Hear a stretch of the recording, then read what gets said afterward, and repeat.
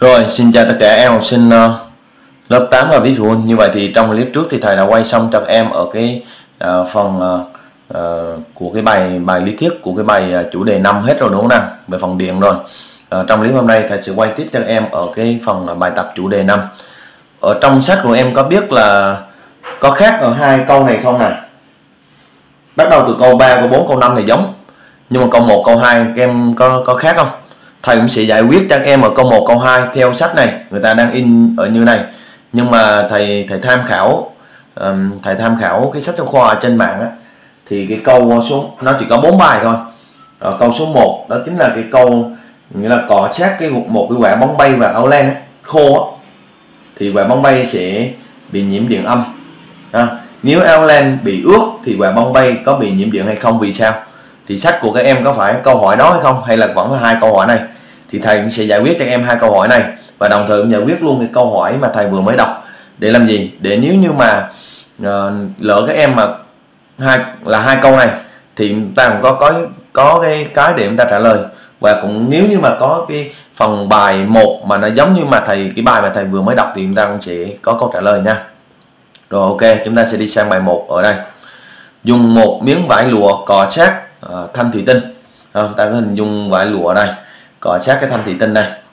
Nha đây là thủy tinh này đây vải lụa này. Sau đó tách miếng vải lụa ra à, xa thanh à, thủy tinh. À, biết rằng thanh thủy tinh mang điện tích dương. À, anh em mang điện tích dương này. Được chưa nào? Nếu đưa mảnh vải lại gần thanh thủy tinh có thể xảy ra sự phóng điện hay không? Nghĩa là ở đây à, chúng ta đưa cái mảnh vải à, này lại gần thanh thủy tinh thì theo em có à, xảy ra hiện tượng đó chính là phóng điện hay không? À, hãy cho biết trong quá trình phóng điện thì hạt mang điện gì?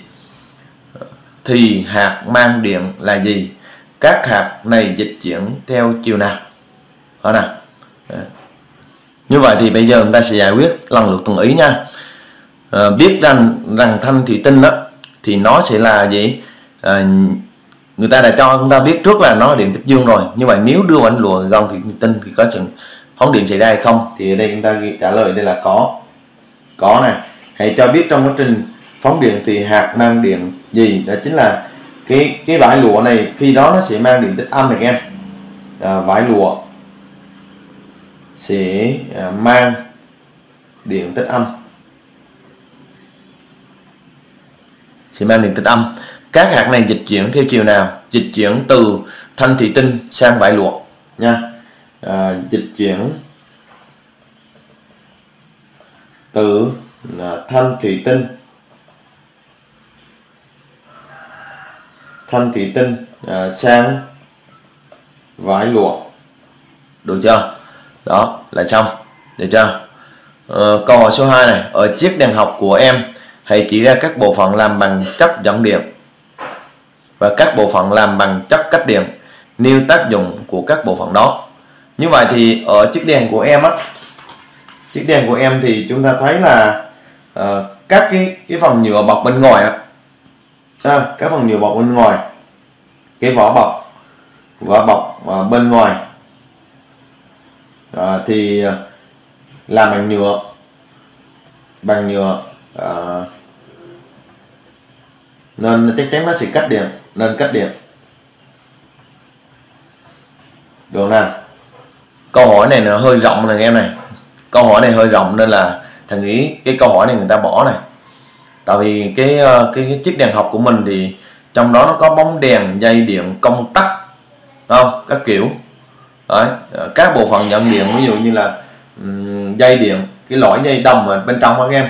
Rồi cái bóng điện rồi công tắc các kiểu nha thầy nghĩ câu này người ta bỏ nè. Nghĩa là nó chỉ có bốn câu thôi. Được chưa? Thầy nghĩ nó sẽ là cái câu mà à, thầy đã đọc cho các em á. Nghĩa là uh, cái quả bóng bay vào áo len á. Nếu mà chúng ta có câu này thì chúng ta sẽ trả lời như thế này nha. Tại vì sách ừ, nó cũng chưa ổn định các em chưa ổn định phần câu hỏi. Được chưa nào?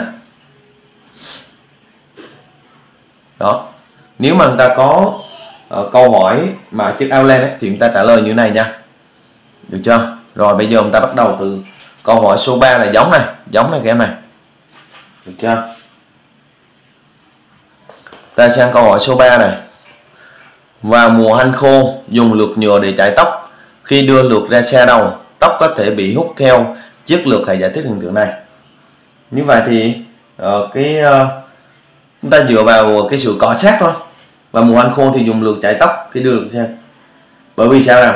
Chúng ta chải đầu bằng lược nhựa đúng không? Thì lược nhựa với tóc nó nó cọ sát nó ma sát với nhau. Nên e trong nó sẽ dịch chuyển à, giữa gì? Giữa hai vật. Nên hai vật nó sẽ nhiễm điện khác loại nghĩa là loại dương và loại âm. Vì thế à, nhiều sợi tóc nó bị lược nhựa nó sẽ như thế nào? Nó hút nó kéo ra. Đó chính là do sự nhiễm điện. Được chưa? Còn nếu mà chúng ta là dùng lược bằng kim loại thì nó không có hiện tượng xảy ra.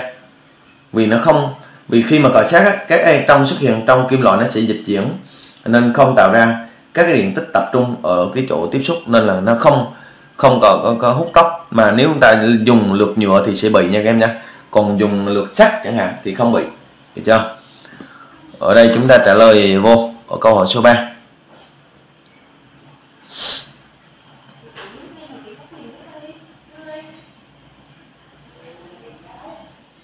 được chưa? Rồi ok. Chúng ta sẽ đi sang ở cái bài số 4 em. Bài số 4 bạn dưới đây liệt kê một số thiết bị điện à, pin công tắc đèn sợi đốt diode phát quang chuông điện. Vì ký hiệu cái này người ta dựa cái bảng ở cái bài 21 em. Cái bài 21 nó có cái bảng á dụ pin. Pin ví dụ như ở đây là một pin thì người ta vỉ này. Đó nếu một pin ta vỉ này thì phía bên đây sẽ chiều dương bên đây sẽ là chiều âm này. À, cái ờ, công tắc công tắc thể hiện kho K đấy nha. Cái kho K đấy này. Đó. Công tắc. Nên như như này là công tắc mở này. Cái đèn sợi đốt cái đèn sợi đốt chúng ta là như này. Đó. Bị vòng tròn đánh dấu ít vô. À, cái diode à, phát quang. À, thì nó sẽ là gì các em? Ở đây chúng ta đánh dấu mùi tên này, này và trên đây chúng ta ký hiệu hai hai mũi tên đây này. Chuông điện chuông điện chúng ta vẽ giống như con sứa nghe ha. Ok. Được chưa? Sử dụng một thiết bị uh, điện trong bảng trên này về sơ đồ mạch điện. Hai pin. Hai pin thì nếu mà nối tiếp thì như này. Một. Một pin này hai pin này. Đó. Phía bên đây sẽ là chiều dương và phía bên đây sẽ chiều âm này đèn sợi đốt và công tắc. Cái này quá dễ hơn em ha. Và cái chiều dòng điện em nhớ rằng khi chúng ta đánh á, chiều dòng điện thì đi từ chiều đi ra từ chiều dương và đi vào là chiều âm này. Nhóm là như vậy. Một pin diode số quang là công tắc. Nha. Thì đây này mình sẽ chuẩn bị sẵn đây này. Có hình ảnh luôn để em thấy. Có thể làm.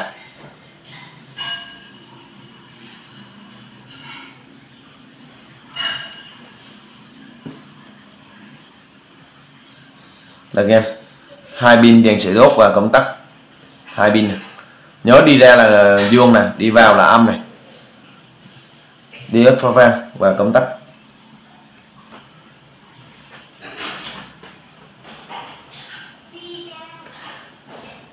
Được chưa? Rồi, ok.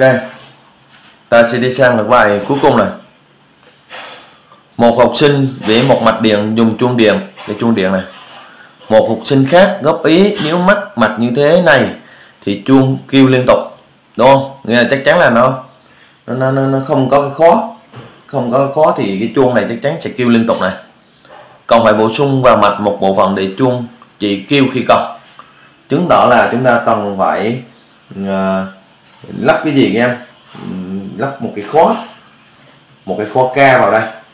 Uh, để khi mà chúng ta cần ta đóng khóa xuống còn nếu không cần thì chúng ta mở là nó không kêu chuông điện này. Vì sơ đồ mạch điện đã bổ sung thêm bộ phận để chuông cái cần đồng thời trong mạch đó có em kế để đo. Em kế chúng ta là là a này và volt kế là v này đó như vậy thì đây nghe ờ, thầy ờ, đã vì sẵn ở đây. Trong đó nó khi khi đó chúng ta phải lắp một cái kho ca ở đây. Nếu chúng ta muốn chuông này kêu thì chúng ta đưa kho ca này xuống. Thì mạch điện trở thành mạch kín thì chuông này kêu này còn nếu thầy để như này thì chuông này không kêu này. Và lắp thêm vào đây là ampe kế và đây là von kế này. Hiểu chưa?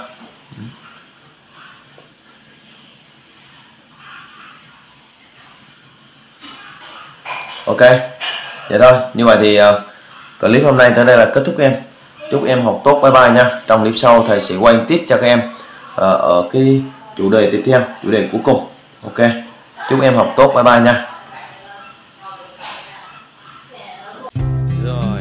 chào các em. Các em à, ủng hộ cái kênh à, thầy quang nhà thầy nha. Và đây là cái clip nấu ăn của cô ngò ok một kê kênh hoa lan đẹp em Đấy, đẹp luôn.